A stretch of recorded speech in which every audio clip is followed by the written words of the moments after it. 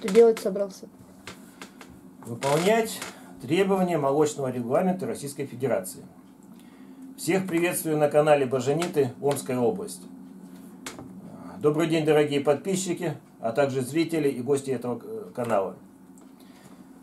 Сейчас я буду рассказывать и показывать, комментировать, чем я буду заниматься. Дело в том, что мы с супругой э, ведем свое личное подсобное хозяйство, а конкретно э, занимаемся крупным рогатым скотом, производим продукцию. Другие скажут, ну мы тоже там держим коров и производим продукцию. Да нет, вы производите сырье. Большинство, кто сдает молоко посреднику, они являются э, поставщиками сырья на э, молочный комбинат. Мы же значит, э, непосредственно сами выходим на покупателя со своей продукцией значит, и реализуем молоко в розницу. А именно, как это сделано. Ну, раз я э, произвожу товар, значит, э, молочный регламент э, напрямую относится ко мне. Я, конечно, учить никого не буду, но просто я расскажу, какие ко мне предъявляются требования администрации, и значит, на основе чего они э, предъявляют эти требования. Молочный регламент в восьмом году был принят, технический регламент на молоко и молочную продукцию. В 2010 году он э, корректировался. И вот сейчас, в 2019 году, в январе, значит, э, вносились поправки в молочный регламент. Но эти поправки, они э, ко мне не коснулись. Это коснулось для тех, кто возит сырье из-за границы значит, и ну, изготавливает молочную продукцию значит, из растительных масел. Мы же э, продукцию из, э, сделаем из своего э, натурального молока. Значит, у меня тут все кое-что записано. На основе чего? Так, значит, требования к упаковке, маркировке, этикетке молока. Значит, это глава 12. 12, то есть 8 год и 10 год. И статья 12. Требования, так, требования к маркировке. Но здесь пункт, пунктов очень много. Основные мы стоим на рынке со своей продукцией, и основные пункты значит, касаются непосредственно меня. Чтобы значит, мне не нарваться на неприятности, я эти пункты значит, стараюсь выполнить. А, чтобы приехать на рынок, мы заблаговременно значит, э, привозим э, молоко на ветеринарное исследование, на местную ветеринарную э, ветстанцию, где нам уже будучи на рынке, значит, выдают вот такую ветеринарную справку. Ну, здесь описано, значит, что, кто и что значит, исследовал молоко. И на обратной стороне значит, здесь видно результаты исследования молока. Также значит, э, в этой ветеринарной справке, которую выдает администрация рынка, э, описаны вот эти вот, значит, часть э, требований. Это, значит, ну, вот, стандарты, значит, стандарт идет к ветеринарной справке. А покупатель, когда приходит на рынок за продукцией, он э, у любого э, производителя, а на рынке стоят именно тот, кто производит молоко, может потребовать вот эту ветеринарную справку и поинтересоваться, значит, э, задать, значит, и непосредственно производителю, значит, вопросы. Так, значит, по поводу упаковки. Значит, сразу же расскажу. Я э, ранее уже показывал, что мы на заводе э, покупаем тару. Она, значит, к этой таре значит, есть э, сертификат. Вот он сертификат. Здесь указано, значит, что вот такая вот тара пригодна, значит, а безопасна, безопасна значит, для разлива молока. Пригодно значит, э, для фасовки молока. Дальше значит, требования какие идут? Наименование молока. В общем, когда, чтобы прийти на рынок, на покупаемой продукции, любой покупатель должен видеть, что он покупает. Я специ... Мы специально заказали э, этикетку. Ну, она, это и сразу же, чем для чего заказали? Для того, чтобы отличаться от других э, товаропроизводителей. Сами разработали.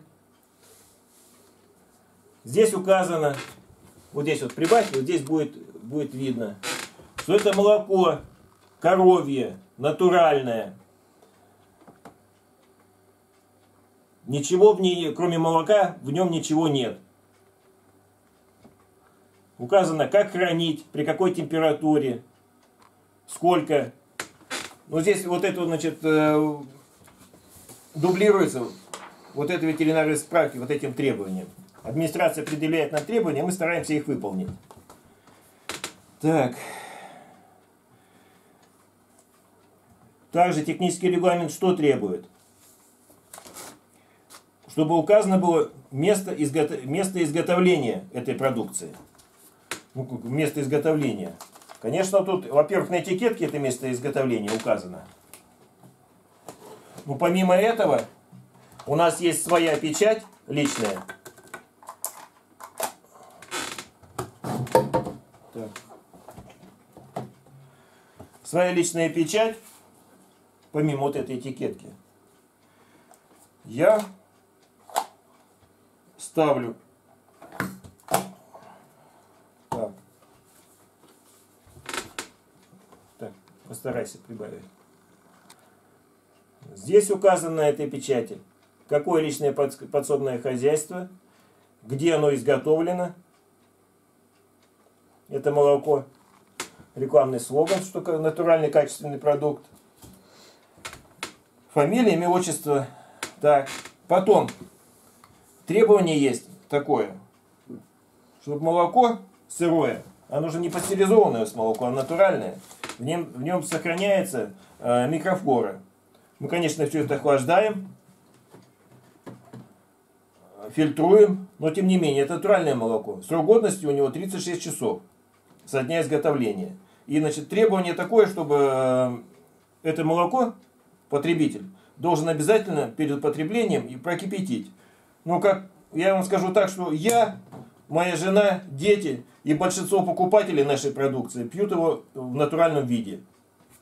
Но тем не менее, требования такие, что я должен поставить, предупредить покупателя, что молоко, молоко натуральное.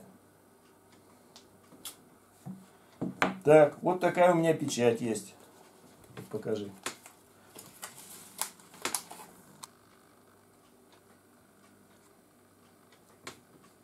Так. Дальше.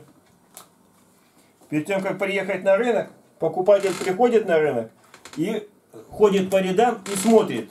Вы очень часто с этим сталкиваетесь, что покупатель хочет свежее молоко. Как он может удостовериться, свежее оно или нет?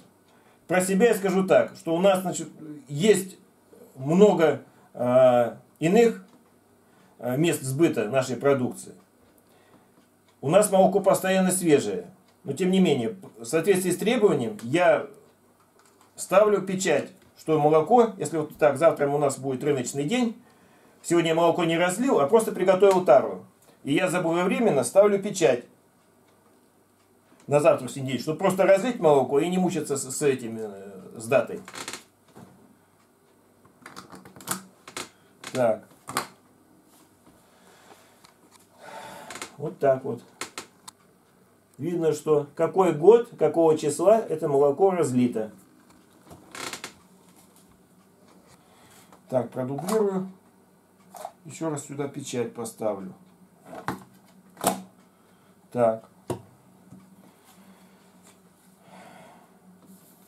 Так вот все открывается. И вот сюда вот я приклеиваю. Осталось дело за малым. Раз, налить молоко, поставить его на ночь в холодильник, чтобы оно было охлажденное. Есть у нас, конечно, пробочка. Все это с завода покупается. Все новенькое, свежее, не бывшее употребление налил молоко, запечатал, все это одноразовое. Очень часто, я сам на рынке не стою, а у меня, э, ну у нас семейный бизнес. Стоит на рынке моя жена. Э, вы приходите на рынок, дорогие покупатели, и посмотрите на продавцов. Для чего? У каждого продавца, кто стоит на рынке, должен быть на халате стикер – вот если здесь написано моя фамилия, то это значит моя супруга. Сам я на рынке не стою, потому что ну, не успеваю. Мое дело разлить молоко, накормить коров, а женщине заниматься реализацией.